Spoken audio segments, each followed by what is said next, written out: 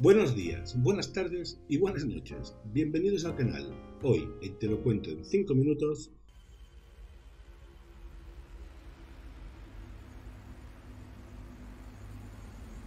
Hoy, encontrada en una casa de campo, tenemos Color Out of Space, film dirigido por Richard Stanley y protagonizada por Nicolas Cage, Julie Richardson, Madeleine Arthur, Elliot Knight y Brendan Meyer, con una duración de 111 minutos del género terror, ciencia ficción e intriga, fue estrenada en el 2021. Todo empieza con Lavinia, Lavinia Garner, que está haciendo una especie de ritual. Se cree que es una bruja o una hechicera o yo qué sé.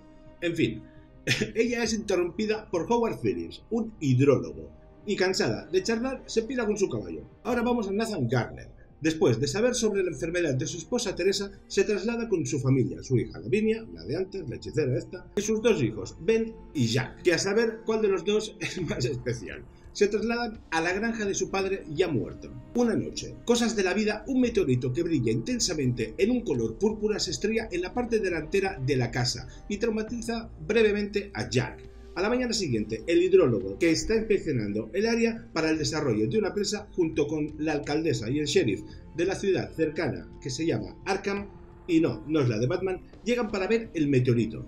Esa noche, durante una tormenta, Nathan y Lavinia son testigos del impacto del meteorito por numerosos rayos. Ward nota que el agua subterránea no está fina, está algo pachucha, cuando sus tiras reactivas comienzan a brillar intensamente con el color. Aconseja a los Garner que no la beban, pero mucho caso no le hacen, así que así vamos. Mientras notifica a Ezra, un viejo loco de la zona y un residente cercano sobre la contaminación, se le muestra una grabación de sonidos de un origen desconocido que suena debajo de la casa del mismo Ezra. Mientras tanto, Jack se obsesiona con el pozo de la propiedad, observa extraños crecimientos de plantas e insectos de colores, y afirma comunicarse con un, vamos a llamarle, amigo que está dentro del pozo. Al día siguiente, un equipo de noticias llega para entrevistar a Nathan sobre el meteorito, pero descubren que se ha desvanecido. Que tal meteorito parece ser que ya no está, y bueno, también es cierto que se podría haber peinado, ya que parece un loco, aunque es lo de menos. Más tarde, mientras Teresa prepara la cena, distraídamente se amputa dos dedos de la mano, cosa que pasa. A todo eso, mientras Nathan la lleva al hospital, deja Benny a cargo de la casa. A pedido de Nathan, Benny sale para poner las alpacas de la granja en su establo, pero no regresa hasta altas horas de la noche, alegando que el tiempo pasó instantáneamente para él.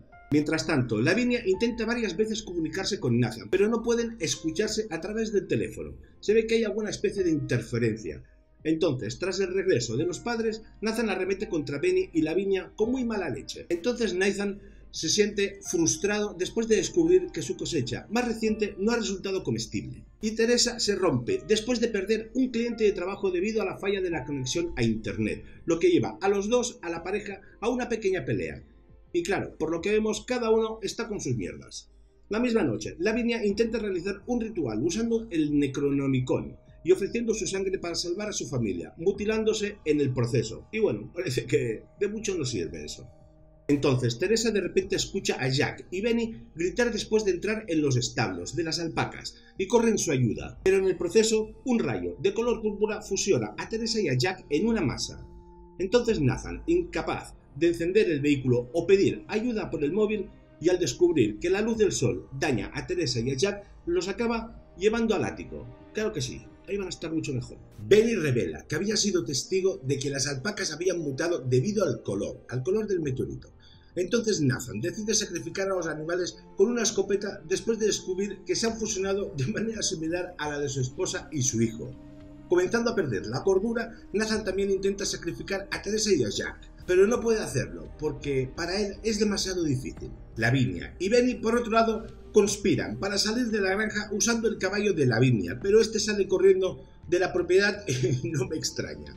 Entonces, antes de regresar adentro, Benny insiste en que escucha al perro y claro, como no, se introduce en el pozo, pero al subir es retenido por el color púrpura y bueno, queda funado. Nathan, el padre, por otro lado, muestra una ira inusual y encierra a la niña en el ático con Teresa y Jack, quienes se han vuelto agresivos porque sabe que tienen bastante hambre. Y claro, ahora parece que tienen comida fresca. En el acto final de esta historia, Ward y el sheriff son llevados a la granja después de que un residente cercano descubre una masa fusionada de animales y llegan justo a tiempo para irrumpir en el ático. Cuando los dos se quedan embobados mirando el espécimen, entra Nathan, el padre, y entra en acción. Dispara y mata al monstruo, salvando a Lavinia. Entonces, después de salir corriendo, Nathan intenta disparar al color que emerge del pozo, pero el sheriff confunde el objetivo de Nathan con Ward y le dispara fatalmente.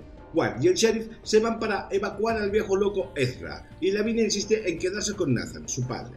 En la casa de Ezra, la pareja solo encuentra su cadáver, disecado y una grabación que dejó atrás, donde supone que el color está intentando rehacer la Tierra en algo parecido, en algo que conoce. De regreso a la granja, un árbol vivo mutado lanza sus ramas hacia el sheriff llevándoselo con él y matándolo. Ward, corriendo, regresa para rescatar a Lavinia, pero la encuentra poseída por el color, que sale disparado del pozo y forma un embudo hacia el cielo. A Ward se le muestra una visión de dónde proviene el color púrpura, de un exoplaneta psicodélico habitado por entidades alienígenas con tentáculos. Todo eso antes de que la línea se desintegre. A medida que el espacio y el tiempo comienzan a desmoronarse, Ward ingresa en la granja y es perseguido por una aparición asesina de Nathan. Corre hacia la bodega y se esconde, mientras la distorsión de la realidad del color lleva la propiedad a la misma destrucción, dejando a Ward como el único superviviente mientras sale de los restos de la tierra de cultivo.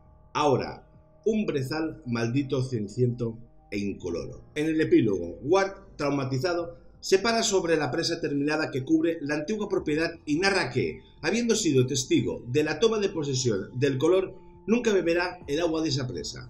Fin de esta historia. Con todo, The Color Out of Space solo está bien. La mayoría de los sustos son bastante pedestres nunca igualan la intensidad claustrofóbica y el delirio de la historia original, donde el mundo natural se vuelve verdaderamente demoníaco, donde los árboles se retorcen morbosamente y espasmódicamente en una locura convulsiva y epiléptica.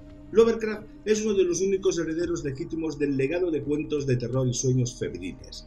El escritor Stephen King, correctamente aclamado como el mayor practicante del cuento de terror clásico, también es uno de los del siglo XX. En última instancia, sin embargo, Case, perdiendo la cabeza, es solo un elemento en una película decidida a llegar a extremos vertiginosos. La rareza hierve hasta que explota y la granja Garden empieza a aparecer, un paisaje alienígena poblado de monstruosidades. Stanley se da cuenta de este efecto a través de algunas imágenes digitales, pero en su mayoría va por la ruta práctica, creando criaturas inspiradas en partes iguales por The Thing de John Carpenter y From Beyond de Stuart Gordon, otra adaptación de Lovecraft que encuentra formas de representar la sensación de horror cósmico indescriptible del autor usando herramientas del cine. Stanley tiene que mostrar lo que Lovecraft solo alude, pero su película finalmente toma una ruta diferente hacia el mismo destino que induce la locura, haciendo paradas en el camino para mirar boquiabiertos a los cuerpos humanos retorcidos por fuerzas alienígenas, aterradoras criaturas felinas y por supuesto alpacas mutadas. ¿Qué mundo de ensueño sobrenatural era este en el que se había metido? Se pregunta el desafortunado testigo del horror de Lovecraft cerca del final de la historia. Las personas que miran Color Out of Space pueden terminar haciéndose la misma pregunta. Mi valoración de Color Out of Space es de un 6 sobre 10. El problema de adaptar HP Lovecraft es que en algún momento tienes que representar lo indescriptible. Gran parte de la ficción de Lovecraft consiste en recopilar los detalles que rodean algún suceso terrible o alguna criatura que provoca la locura, sin mirarlos directamente a la cara. Son historias que llevan a los lectores hasta el precipicio de un abismo y luego insisten en que den los últimos pasos por ellos mismos, un enfoque que generalmente funciona mejor en las páginas que en la pantalla. Por último, suscríbete al canal, dale un me gusta bien grande al vídeo y nada más por aquí. Así que recordad, el cine es un espejo pintado.